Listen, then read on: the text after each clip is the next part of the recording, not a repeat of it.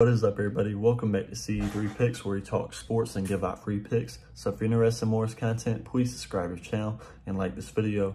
Also, if you're interested in my Instagram, my Twitter, that's where my VIP picks are, my personal plays that I'm taking myself each day. So if you're interested in that, contact me and we can get you set up. But let's get this MLB matchup between the Atlanta Braves and the Los Angeles Dodgers. The Dodgers, they just continue to roll playing great baseball right now. 7 and 3 in their last 10 games. And at home this year have been dominant, 45 and 23.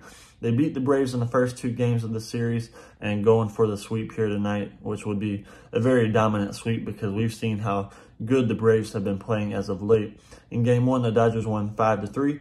And then in game two last night, the Dodgers kind of had to rally back. Um, they didn't tie the game until the seventh inning, and then they scored in the eighth inning, which was basically the game-winning run, and they won the game three to two.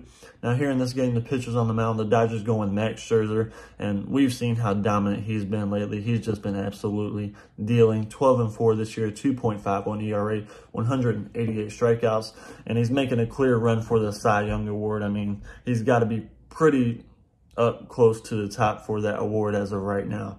And then the Braves going Max Fried, who is probably one of their best pitchers also, but uh, so far this year, he, he's been pretty good, but he has had his moments where he can slip up, and you can tell from his record, 11 and 7 this year, 3.54 ERA, 122 strikeouts like I said, I'm not really ready to step in front of this Dodgers team right now, especially at home with Scherzer on the mound. I think it's going to be very, very hard for the Braves to hit the ball tonight. So once again, this one, I'm going to go ahead and take the Los Angeles Dodgers to sweep this series, and that's going to be my free pick.